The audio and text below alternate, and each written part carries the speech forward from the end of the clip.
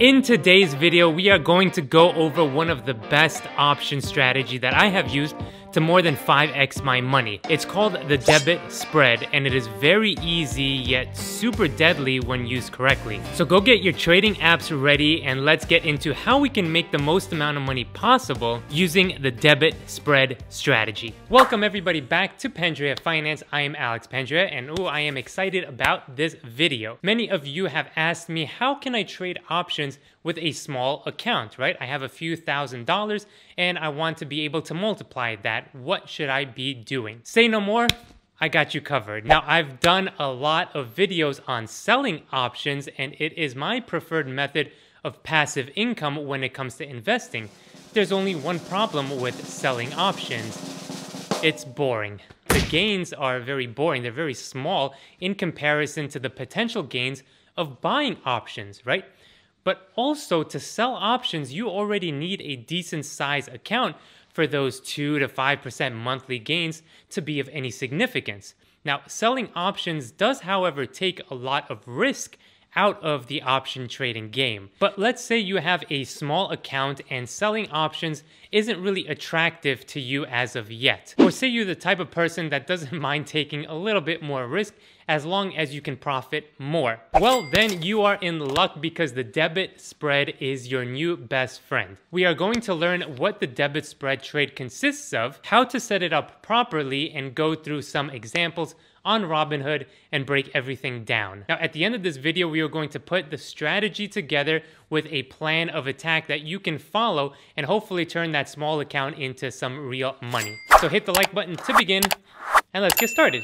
One of my favorite books on trading is this one right here, Market Wizards. Now, it's a whole series of books, but there is a whole chapter in this particular book about Paul Tudor Jones, who is one of the greatest traders alive today. And Jones uses a concept that has recently stuck with me over many years in which I was growing my trading account, and that is the concept of asymmetric returns. The idea is as follows. How can I invest or trade where I risk $1 to make $5. This risk reward way of thinking will allow you to take very little risk for very high rewards. If I risk $1 and lose it, then I have another four times to risk that dollar to make the $5, right? So let's take this concept and apply them to options since the derivatives market is a leveraged market and therefore would be our best chance of making this type of profit. Okay, so now let's talk about buying options, right? When you buy an option, you are paying a premium to buy that option contract and hope that the stock moves in your favor and the option contract becomes more valuable. And then you can sell the contract further for a profit, right? Now here's the problem. A lot of the times the contract that you want to buy will cost a lot of money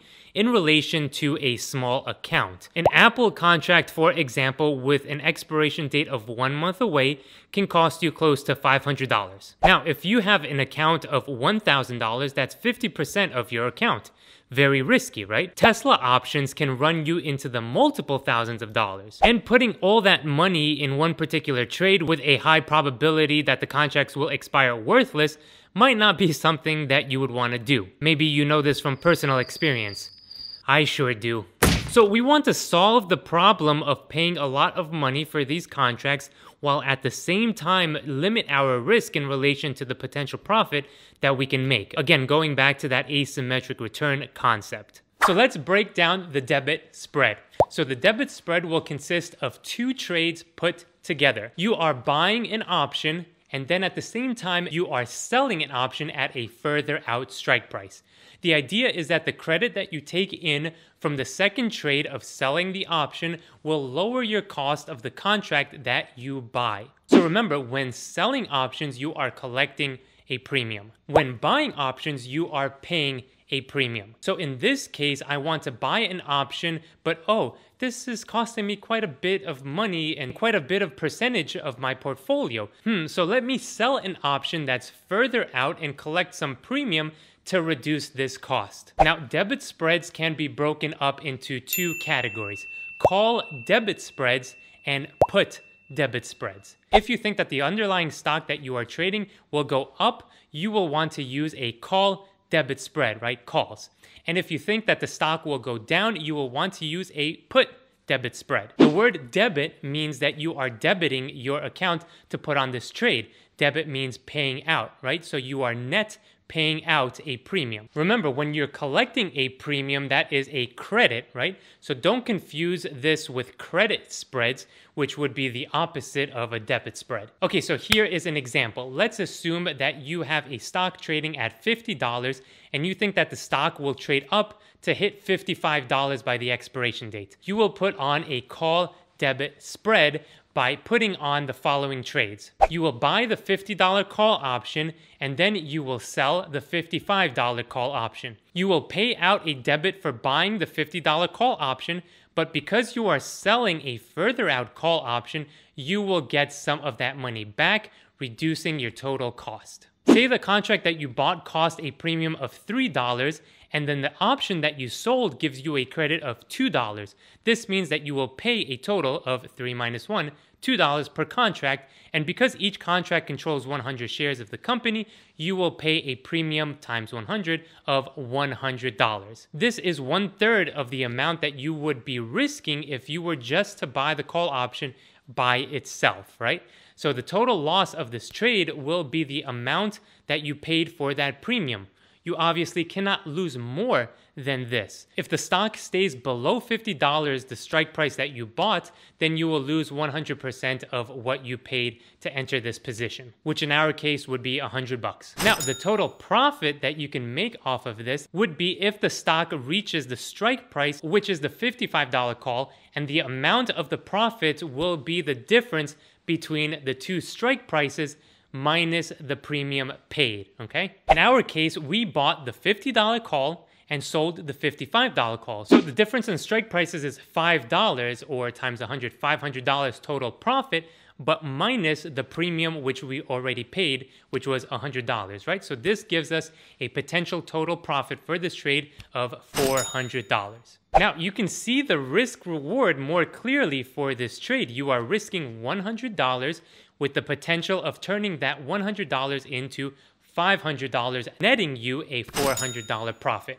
Pretty good. Now, the only way to get better at investing, trading, or anything else in life is to learn. And my favorite place to learn new things is today's video sponsor, Skillshare. Skillshare is an online learning community with thousands of online classes and members across the world. It is a place to get inspired and learn from industry leaders that are willing to help you advance your skill set. Now, whether you have a side hustle or a full-blown business, or are just looking to develop yourself, there is a course for you to take and improve your skills, which in turn will improve your quality of life and make you more interesting, right? Because let's be honest, who wants to be boring? I am a huge fan of lifelong learning, and Skillshare has created a way for you to have a more interactive experience in how you learn. It's one thing to click on random YouTube videos with no structure. It is another thing to go through a structured course with Skillshare. I found immense value in learning from the course how not to suck at stock investing 1 and 2. So if you have a specific skill or you're interested in learning something, Skillshare is the perfect place to start your journey and maybe one day you can become an industry leader as well. Then I will be learning from you. Now the first 1000 people to use my link down in the description with my code Pandrea Finance will get a one free month trial of Skillshare. That is code Pandrea Finance. Thank you to Skillshare for sponsoring this video. Go sign up and let's get back into the video. All right, let's open up Robinhood and take a look at some live examples. This example, we're gonna take a look at Apple. We're gonna hit trade and trade options. Now, because this is a net debit of our account, that means we are buying options.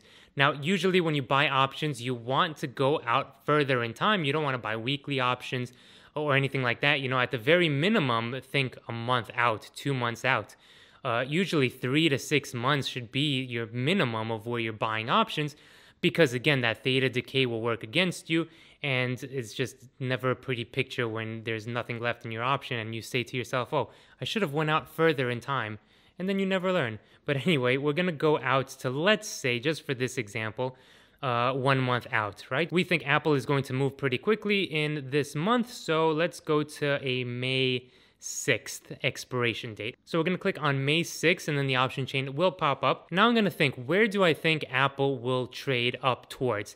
Um, so right now the share price is 175 and let's say I think that it will get to 185, 190 around that area, okay? So we're going to use that as a benchmark to buy and sell some options. So we're going to buy a call first of where we think that at least, at the very least, that this stock can reach.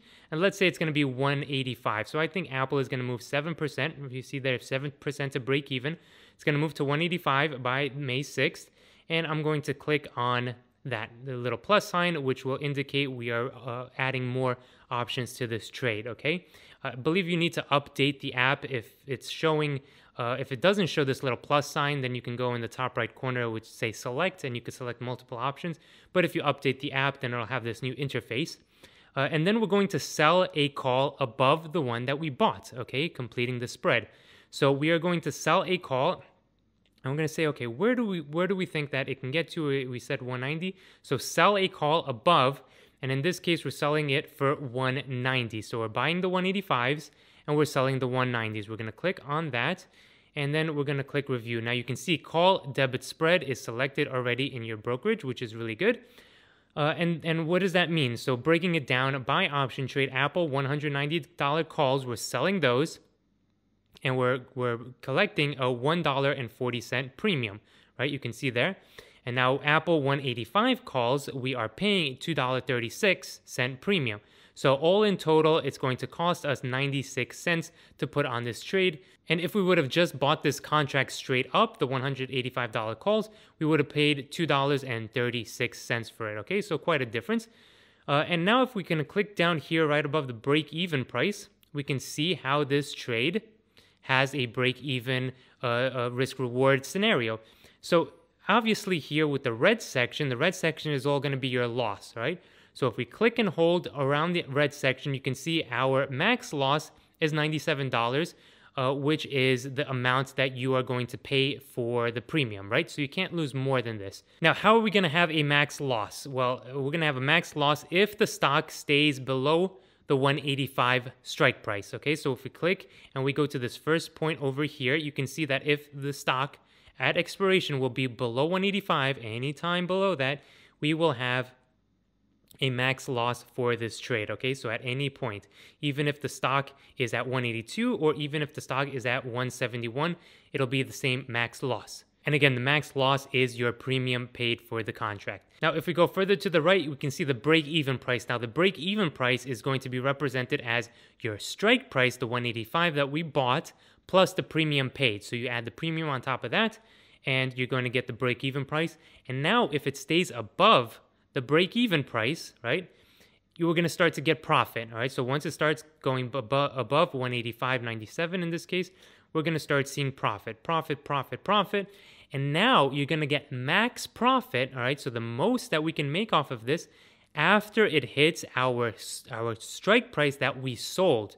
So we sold the $190 call. And you can see here at $190, we have the max profit that we can get with $403. And now, no matter how far further higher we go with the stock price, it's going to be the same exact gain, the same exact profit. All right, so no matter where it is above the $190 calls, we will have the same profit. All right, so you can still have profit in between your two strike prices from the 185.97 to the 190, okay, and a little bit of loss if you get from your break even price down to your first strike price over here. Um, but uh, you can see that you need to get to 194 the full for the full profit that you would profit off of this trade. But now let's take a look at what the actual risk reward is. So we're risking $97 in this case per contract, and our reward, our max profit is $400. All right. So now you can see how the asymmetric returns plays into this strategy. Losing 97, so almost 100 bucks. Here's 100 bucks. The most I could lose is the 100 bucks. The most I could gain is $400, right? Now, this type of risk reward should be in your favor, right? Because you're risking a little bit to make a lot. Now, just an interesting thing here uh, if we were to clear this out and go to a further out, so I think it's going to go to 195, right? I think it's going to uh, uh, trend up more than 11.91%, right? So now we're going to set this up as follows. Say we're going to buy the 185 and we're going to sell the 195, okay? So now that is, uh, there's one strike price in between. So now we have the distance between strike prices is $10 rather than 5. Watch what happens. I'm going to click over here And now let's take a look at what happens to your risk reward. So now we are risking 153 at a max loss per contract, but now we can gain at a max gain of $847. Okay, so by playing around with the different strike prices and how far the two strike prices are from each other, it can adjust your risk reward to your risk tolerance and how you want to put on this trade. Okay, so there you go. So let's hit review and let's see what we can do with this trade. Let's say we want to buy two contracts. You can see that our max loss, if we click over here, is going to be $306, the premium paid and the max gain is $1,694, but we have to have Apple hit 195, okay? We can make profit in between, but that max gain is what we are looking for, right? So let's go back and put in, let's say, 20 contracts because we want to risk $3,000 uh, for our risk reward. And let's see what the break even price is. So our max loss is $3,000. We're putting at $3,000 and our max gain is 16,940. So you can see how the risk reward asymmetric returns plays very well when you have a certain amount of you know, in this case, buying power. I have a buying power of uh, 114,000 currently right now in my Robinhood. So you can see three uh, $3,000 is less than 3% of my account. So I'm risking a very small amount to make $16,900, uh, $16, okay? So is that worth it? Well, that's going to be depending per individual. But for me, maybe it's worth it. Maybe I put on this trade. Maybe I readjust. But there you go. That is the call debit spread. It's a very powerful tool. So use it wisely. Okay, so let's put together everything into a plan of attack so that you can best put your chance of profit in your favor as much as possible. The first thing that you have to do to make this a winning strategy is to not over trade. Okay, so this is a risky strategy, and although we are tipping the risk reward in our favor, you should not use this as an excuse to trade more than a small percentage of your portfolio. So the idea is not to go all in on this and to try to 3 or 5x your entire portfolio. You want to be able to take a small amount, maybe it's 5% of your portfolio depending on your risk, and use that to make a calculated asymmetric bet. If you 3x that 5%, that means that you have made a 15% profit for your overall portfolio, which in my opinion is very good. If you lose that 5%, then well, you only lost 5%. And if you feel 5% is too risky, then okay, great, scale it back to a lower amount. Or if you're a little bit of a risk taker, scale it up. Maybe for you, 2% might work better or 20% might work better. If you have a small account of $1,000 and you know that you can make that $1,000 back somewhat quickly, you could be more aggressive. Now, number two on this checklist would be to risk what you are willing to lose in terms of time. Now, I've mentioned this in one of my first videos that I've done here on this channel, but the idea is when you are taking bets like buying options especially, uh, where the overall odds are not in your favor, you want to be able to make that money that you are risking back in a relatively short amount of time. When you start thinking about how long it takes you to make the money back that you are putting at risk from your income or your business or wherever you get your money from, then that would put a dollar amount that you are risking into a better perspective. When I initially grew my Robinhood trading account, I took the risk of betting one month profit that I took in in my business and risking that with Leaps options. Knowing that if I lose all of it, then it would only take me one month to make that back, and I was willing to take that risk. So that's very important, right? I wasn't betting my entire life savings on something risky. The next step is to let your winners ride. So this is another important lesson from Paul Tudor Jones and derived from the trading strategies of Jesse Livermore. Now, if you study him, very, very interesting, right? The idea is that you don't want to buy contracts with a very close expiration date because you won't have enough time to let that trade do its thing. If we are using the momentum of a stock market move to push your trade into profit, then we need to let the market do that. On top of that, you don't want to take profits too early and really try to let that stock price reach that outer strike price to profit fully. So let those winners ride out so that you could collect the most amount of profit possible. Remember, risk reward, right? So you want to try to get that full reward knowing that your risk is limited on the downside. If you follow these guidelines, I think you can better manage this strategy and have better chances of profit. Now, if you want to see the trades that I am making and investing in, you can check out my personal Patreon page link down below. I would also recommend you watch this video next, which lays out seven basics that you should know when trading options. Thank you so much for watching the video. Hit the like button, subscribe if you haven't already, and we'll see you on the next video.